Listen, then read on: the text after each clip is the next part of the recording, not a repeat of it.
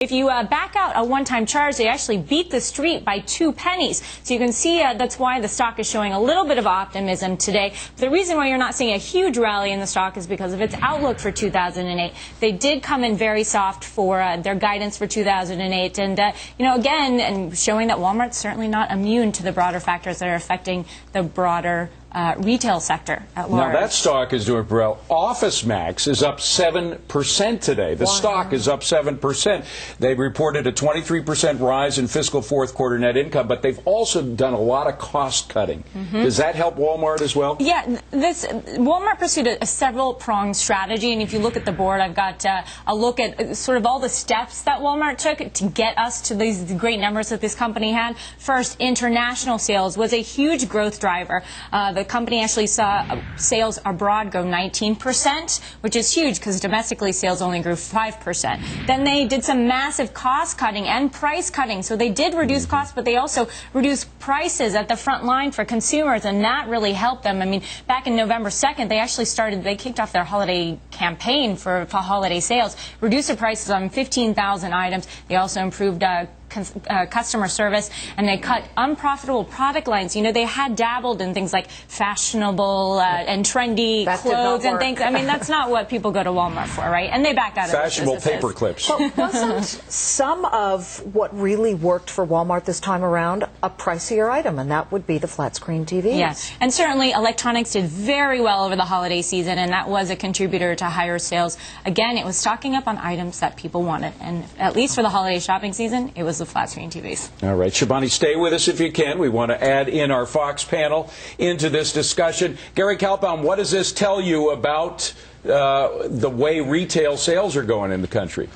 Uh, tells me Walmart's a great company and they continue to uh, attract uh, people into their stores. Look, all my research uh, and all my visits to other companies tells me that the consumer is pretty much uh, spent up and not pent up here, and I've been saying this for months. Uh, every number I'm saying, and if you just look at the retail index, it's still down 25, 30 percent from the last few months. So I just think the consumer is going to continue to have some problems, and if we keep seeing oil heading north, that's not going to help at all.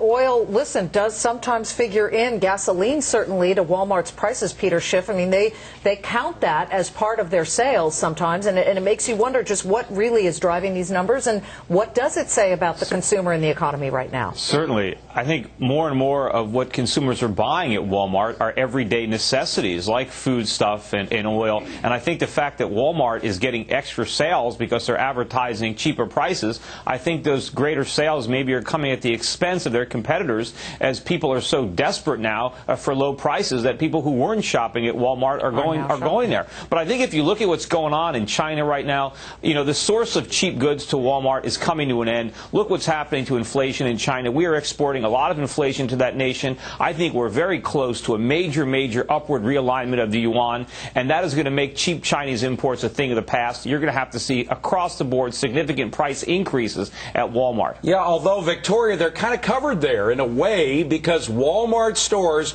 are expanding all over China. In fact, the one place in which Walmart workers are unionized Guess what? It happened. It's in China. So they they are kind of spreading their risks by appealing to Chinese consumers. Sure, that's going to be where a lot of the consumer growth is going to be going forward. But Peter makes an important point, point, which is, you know, we have gotten cheap goods from China for so long. And the only way that Walmart can lower prices while at the same time increasing their margins is by put, putting pressure on their suppliers, many of which are in China. And that can only last for so long. Walmart is a fantastic company. The fact that they could come out with good numbers in a time like this really speaks to management. But, you know, the consumer in, in the U.S. is really strapped. And, the, you know, Best Buy said that so much um, recently. They're not looking sure for did. a great year. Yeah, they sure did. That's uh, That certainly shocked some, uh, some some shareholders of Best Buy that really felt, oh, wow, I've got the good company because Circuit City isn't doing as well. But, Pat, if exactly. what Peter says is true about the yuan, because, of course, the U.S. has pressured China to let its currency float more freely,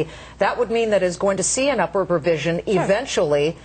Peter makes that point that these exports are going to become so much more expensive to the U.S. consumer that the $11 polo shirt at Walmart might not be $11 anymore. It might be 15 or something. Or it might be $11.35. You know, the fact is that if China gets too expensive, Or it might be 50 bucks. We'll, we'll go to we'll go to Indonesia, and if, if the Indonesians are get really expensive, we'll move to Malaysia. There's lots of places for us to go and get and No, get all those goods. currencies are going to go And- up in tandem. on a second, They're all Peter. going No, up. and- She's not finished. Go ahead. You know, and, and unfortunately, there, there is uh, there was some inflation numbers that came out in China, and that's not good news for the Chinese. They're going to have to deal with that. But this is how free markets work. Free, you know, we are we are interrelated.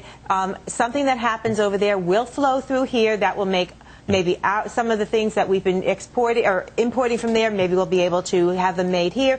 This is how free And another markets thing, work. Shibani, I want to bring Yeah, Shibani in for a second understand- because Shibani, one thing that Walmart has proven is that even in retail sales, this increase in productivity, which is so important in our economy, has affected the way Walmart does business. They, they've computerized like they haven't done before. Their inventory is better under control than it has been before. So they are doing things that help it increase its productivity. Yeah, and they've certainly been an innovator in that space. I mean, you certainly take Walmart, you've seen Walmart take the lead and, and really see uh, and, and take on best practices that the entire sector, if not broader sectors, have followed and, and copied in that manner. But I think a big issue when we talk about international sales is, you know, everyone is worried about a global slowdown. And what is that going to mean? International sales are a big source of growth for Walmart.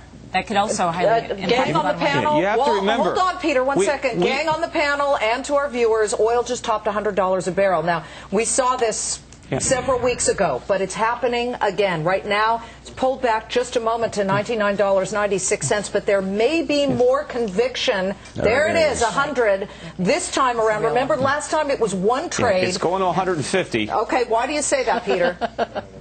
Well, I've, been right on it for years, but you know, there's Well, a uh, triple for top in oil yeah, right now at haven't hit 100. 150, Peter.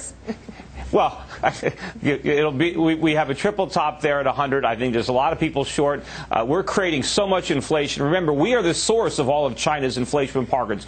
We're exporting it to the world, and oil is about to explode, just like all the other commodities. I mean, look at platinum over $2,000 an ounce. Look at silver up almost 50 cents an ounce today. Look at soybeans at $14 a barrel. All these prices are rising in tandem because of the most inflationary monetary policies the world has ever seen. Oil's going to explode. I think it'll be $150 a minute, a barrel. The, before Vi- the end the of the year. Weimar Republic has got to be thrown in there, Peter, as one of those But that uh, wasn't the whole world. inflationary experiments. That was that, You know, that go- was this just is one country. big- that was one country. yes, I know. really but this is still the whole supply world. and Anyway, demand. Pat, go ahead. It's still supply and demand. Even though we're in a slowing world economy, we are not in a worldwide wide recession. OPEC is announcing that they're going to cut production. So we have a supply side dislocation. At the same time, demand is growing. It's inevitable until we Because get of our inflation. act until we get our act together bigger- and change the supply dynamic.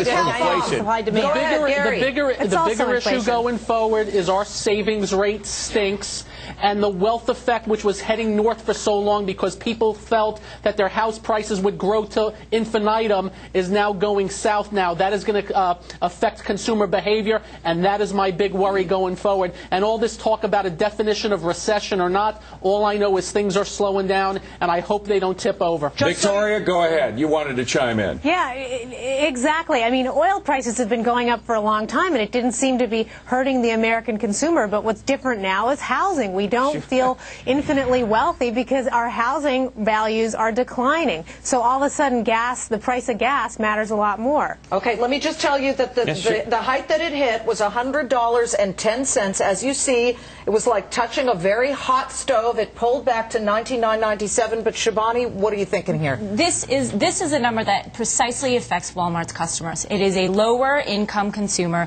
that reels back very suddenly with, with changes in housing and changes in gasoline prices. This is a big deal. Going back to Walmart, this is a big deal to Walmart and its consumer base, particularly here in the U.S. Well, $100 oil is going to be the floor pretty soon. It's not going to be the ceiling anymore. You know, And what I- used to be resistance will become support. I want to touch upon Go ahead, something Peter said. Uh, gift card statistics now, a ton of that is being spent on food and other necessities. Really? So that's heading that way also. Well, it, it the, by the way, the price is just flirting with that hundred hundred dollar line. It may close above, it may close below, but it is significant uh, that for just a couple of minutes here, it was significantly above that hundred dollar And, mark. and some of this, keep in mind, if you're tuning in just now and you're saying, why is oil hitting $100 a barrel? You're getting different stories from different areas, but we've got a couple of things going here. The Texas refinery explosion, the falling dollar, OPEC saying that it will keep supplies tight, at least some OPEC members, including Venezuela and Iran. So a lot of these things mm-hmm. coming together, David, to create a $100.10 a barrel. First And time since January 3rd. We will wait and see where it settles. We're on oil next.